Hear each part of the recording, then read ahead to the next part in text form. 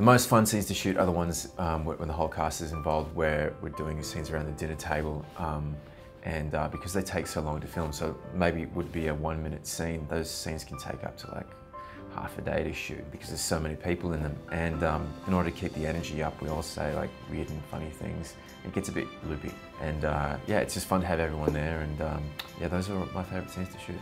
Sometimes it's me, to be honest. I don't think really people bit sometimes a bit shocked at what I'm, I'm shocked myself with what comes out after being exhausted uh, filming those those really long scenes. But uh, I mean, everyone just gets a little bit out of character. I mean, Noni for sure, she's always the stern matriarch, but she'll be saying some pretty strange things by the end of it too. so yeah, just picture everyone kind of a bit out of character.